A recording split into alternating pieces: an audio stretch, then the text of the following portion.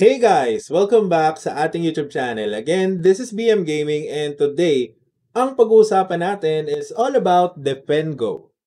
Anyway guys, if you're new to the channel, don't forget to hit the subscribe button and the notification bell para lagi kayong updated sa mga panibago nating uploads regarding kay Defend Go. Let's go!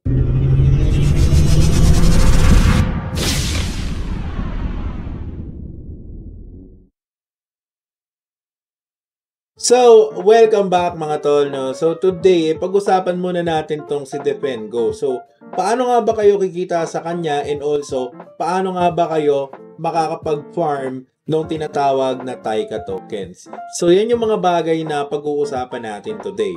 But anyway guys, bago tayo mag-start, gusto ko lang sabihin na this is not a financial advice and I'm not a financial advisor as well. So, please make sure that you do your own diligence about the project first. Okay? Bago pumasok, alamin muna. Okay?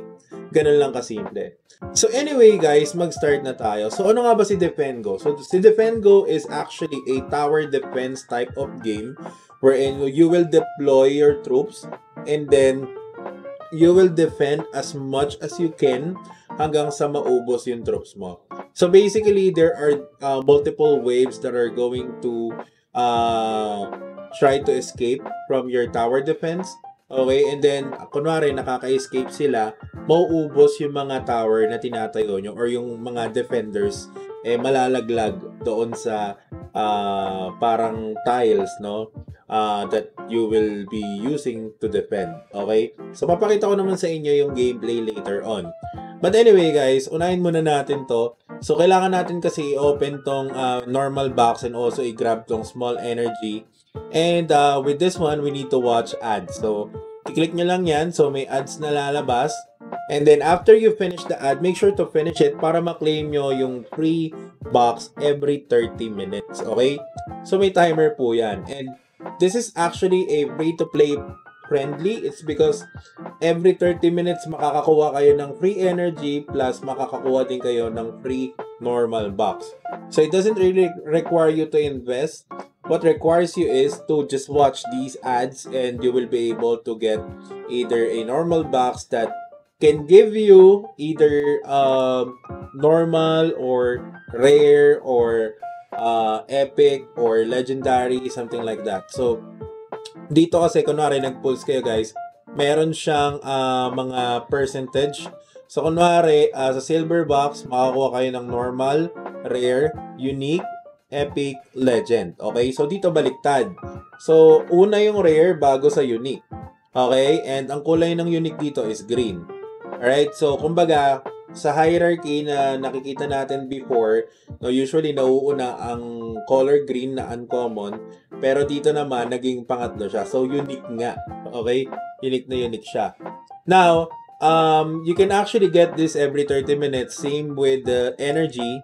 Okay? So, gagrab nyo din to kasi limited lang yung energy nyo per day. So, kumbaga, uh, kapag hindi nyo ginagawa to, sayang din yung 10 energy every 30 minutes. So, that's how many energies. And dito kasi guys, ang labanan, para mas kumita ka ng malaki, mas maraming energy yung makokonsume mo dapat.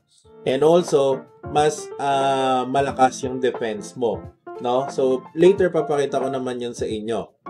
But anyway, just to give you a clue, kanina guys, no, in the beginning of uh, our video, nakita nyo na meron ako nakuwang Taika tokens, tama ba?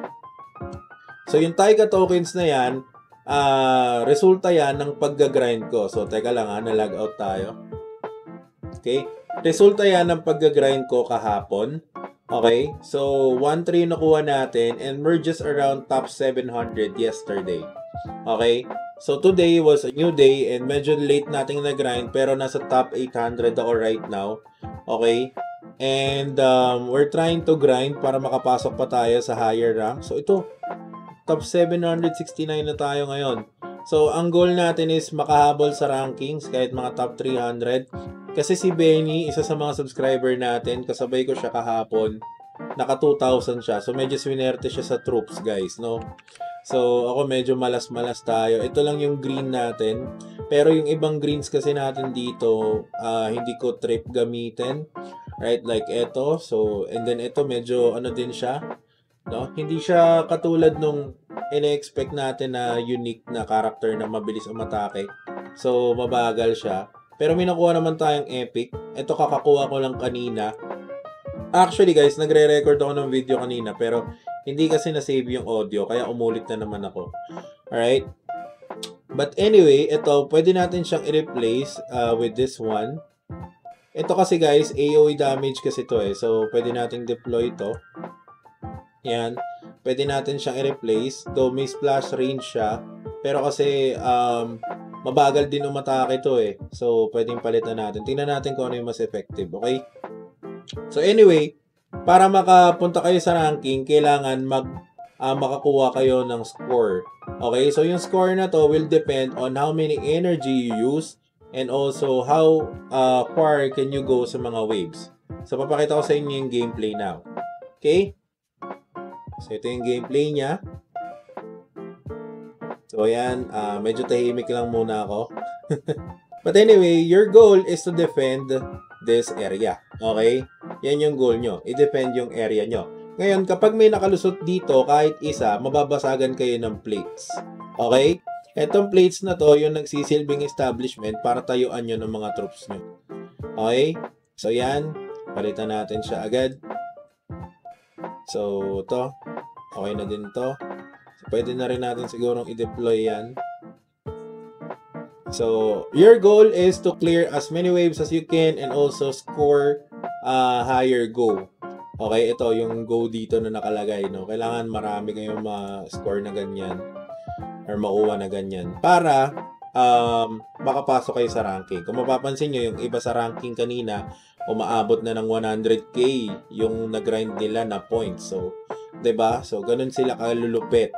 But anyway, guys, matatagal na rin kasi silang naglalaro nito and we were a bit late.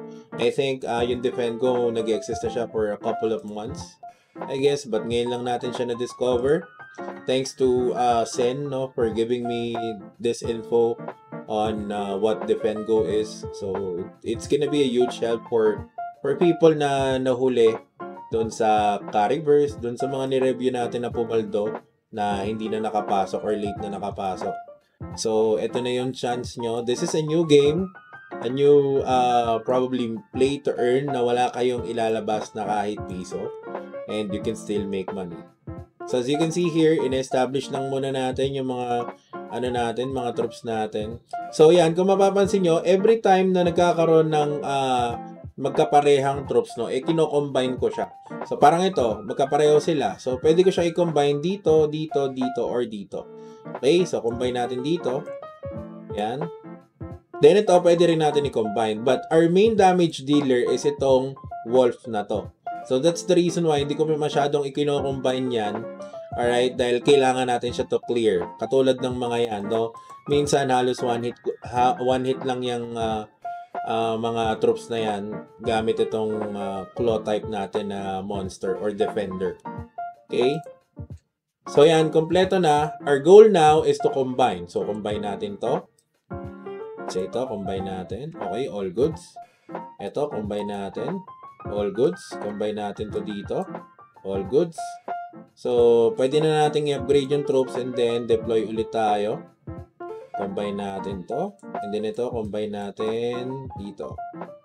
Then, combine natin siya dyan. Okay, nakakuha na naman tayo nun. Puro buffer yung nakukuha natin. Medyo natatakot ako sa ganyan, ha. As much as possible, guys, I wanted to get uh, yung hindi naman sana buffer. Kasi pag puro buffer, guys, kawawa tayo we need troops to defend, no? We need troops to defend. And meron tayong 3 star na buffer. So, ayan. So, sana ma-defend pa natin to kasi medyo nakakalusot-lusot na, no? So, ayan.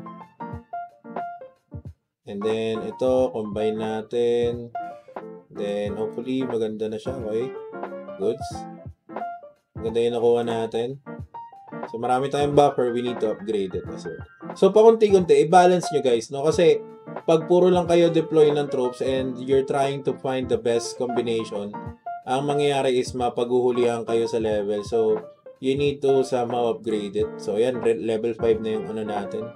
Yung main damage dealer natin. Pero our problem here is that, eto, no, medyo konti lang yung nakuku- nakukuha natin. And we need more of that. I need more of that.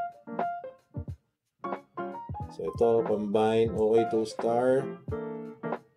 Yun, meron na tayo na 3 star. Very good, very good, very good. Very good. Yan, meron na tayong main defensive line dito to block. So, our goal now is to build the other side. Okay? Huwag lang isang side. Huwag kayong maging one-sided, guys. No? Build nyo din yung other side. So, kailangan nyo yan. Okay, so dito, combine. Holy shit. Yun na naman. We need more troops. Bakit ito binibigay mo? I need more. Kaya lang guys ha. Parang nakaka ano ako, nakakatunog ako dito sa mga nilalabas na troops ha. Actually, we need we need to defeat this, okay? And also get this boss para makapag-deploy pa tayo ng mga troops.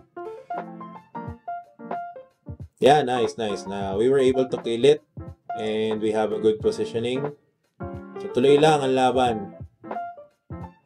Tuloy lang, tuloy lang tayo. Nice, nice, nice, nice. Oh shit. Mali, mali, mali, mali. Dapat di ko kinumbine yon. So minsan, pwede nyo na rin i-save yun. Kunwari, ganun na yung troops na nakukuha nyo. Pwede nyo na siyang i-save. Kasi, the more na hindi nyo sinisave yung mga ganun troops, the more na humihina yung firepower nyo. So, yan, nakuha na tayo ng ano, plus 2. Yan natin dito. Oh, shit! Oh, shit! Oh, shit! We need to upgrade troops, guys. And we need to also deploy. So, mabilisan lang to. We need to deploy and deploy and deploy. Ayan, nakakuha tayo ng pang-upgrade doon. Very nice. Parang pre, uh, feeding frenzy tayo doon kanina. So, dito, yan. Uh, we put it here. Alright, all goods. So, I think uh, we will progress more. Pero hoping talaga na, ano, ito kasi hindi pa siya, ano, holy shit. Nice one! Very good, very good. Very good guys, level 9 na yung ano natin. Pero medyo makunat-kunat. Nakikita nyo guys na medyo nakakalusot. Pero kayang-kaya. Kayang-kaya, level 9 na yung ano natin eh. So I guess we can do the level 4 boss after this. Pero wag muna guys. Baka hindi kayanin eh. Yan, level 3. Okay. Yun! Nice! Ako tayo, men. Let's go! We have a 4 star here. All goods na to. Yan, deploy na natin yung boss na yan. Kakayanin na natin siguro to. More on sa gitna yung troops natin eh. Hindi na natin tong isell. Yan. Nice! Kinaya natin yung boss. Napatay natin yung, yung boss and we're still moving forward with our troops. Very nice. Baklas na sila dun sa ano, 2-7 na yung bawas. Uy, 4-1 no? Holy shit! Mate! Holy shit, mate. Let's see how far we can go, no? Actually, ang maximum niya is uh, 4 star. So, I think mag-upgrade na tayo ngayon ng mga troops. Le-level up na natin siya. Okay, so yan. Very good din yung damage output natin dito. Medyo maganda-ganda yung damage output ko dito. So, I'm not really seeing it na Okay, so dito. Add tayo dito sa may bandang dulo.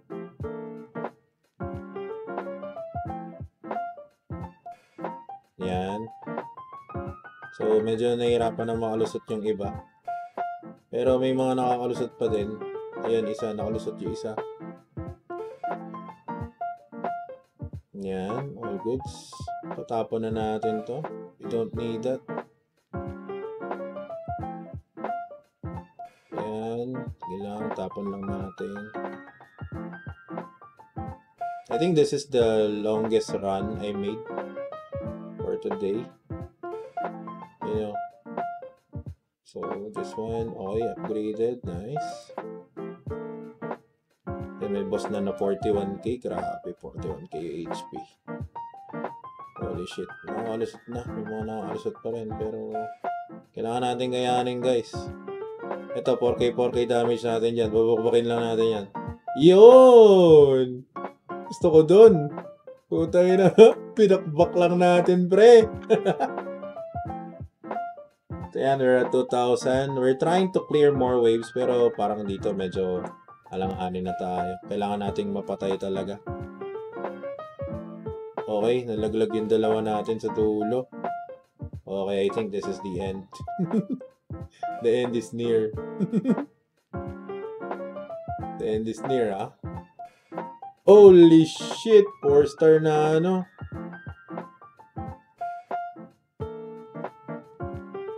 Sayang yun. We had a good run, guys. No, we had a good run, to be honest.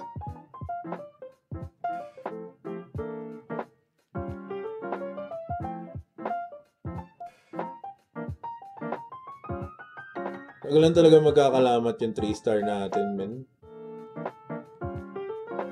Oh shit. Okay. Ay, gaki. Hindi na kasi sila pwedeng i-combine, guys. Pag 4 star na. So, I guess, ano, kahit makarating lang tayo ng wave 40 para ma-break lang natin yung somehow record. Kasi, we're at level 40 eh.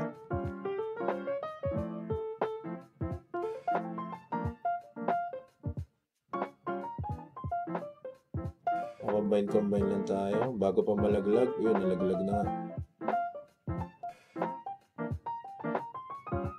Oh, shit. Mate, I don't know. I don't know. Makakalusot pa ba tayo dito? Ay, hindi na tayo makakalusot dito, guys. Ah, isang wave pa. Shit. Nice! Nice! Y score tayo. So, yun yung strategy natin. Nanalo tayo doon. And uh, somehow, umangat tayo sa ranking. Ooh, 600 na tayo. And dito, 38%. So, naka 40. So, um, sa weekly kasi may makukuha din kayo rewards dito. But anyway, uh, magkano nga ba equivalent? Paano nga, magkano nga ba yung kikitain nyo dito? Okay? So, punta kayo dito guys. And then, makikita nyo dito na merong exchange tech. So, dito, yung equivalent ng Taika. So, kunwari, let's say in one week, no? Eh, nakaipon kayo. Katulad nung sa akin, ang kinita ko kahapon is 1.4. Okay? So, calculator tayo, guys. Ano yung napull up ko? Ayan. So, calculator tayo. So, let's say, ang uh, nakuha natin is 1.4 per day times nyo to ng 7. That's 9.8. So, makakuha tayo ng Styka na 2.85. Okay? Ngayon, ang presyo ng Styka, guys, is around, so, check natin dito, Styka. Yan, stick. Wait, mali yan. Mali. Hindi yan. Masyadong malaki yan. Ang presyo ng stick is around 2.56 or uh, equivalent to 146 pesos. So, PHP natin to. Okay. So, 146. So, makakuha tayo ng 2.85. Kagaya nung nakita natin dito. 2.8529. 8529. That's around 417. Ito malupit niyan guys. Kapag nakapag multiple accounts kayo dito, not just one account, no? And nakapag multiple accounts kayo at nakakakuha kayo ng at least 9,000 points weekly in 10 accounts, multiply nyo na lang dito sa 10. Okay? But this one requires more time. Okay? It really requires more time and of course effort. So, you have to also master playing the game. Hindi lang siya yung parang kakash grab lang tayo. No, it doesn't work that way. Okay, if you want to make money here, you have to somehow uh, make your character or troops stronger. You have to level them up and then you also need to somehow spend some of your tech tokens. So, kung mapapansin nyo dito, nag-exchange tayo. Yan, nag-convert ako kanina para bumili ng box. And luckily, nakakuha tayo ng Epic Troop which is itong backer natin. So, basically, yun lang naman um, yung way ng pagkita dito. Additional pala, this is under Solana wallet and you have to download the Stika wallet here. Okay, so yung Stika, available siya guys sa Play Store. So, download yun na lang doon. Okay, and you're already good to go. Alright, uh, you will be able to withdraw your money. Alright, so yung withdrawal tutorial gagawin ko siya after a week. I, I will grind this for about a week so that we can cash out uh, some money here. And uh, gagaw gumawa na rin ako ng other accounts dito. Ginagrind ko na rin sila starting now. So yun lang naman guys. Maraming salamat ulit sa panonood. I hope meron kayong natutunan dito sa video na to.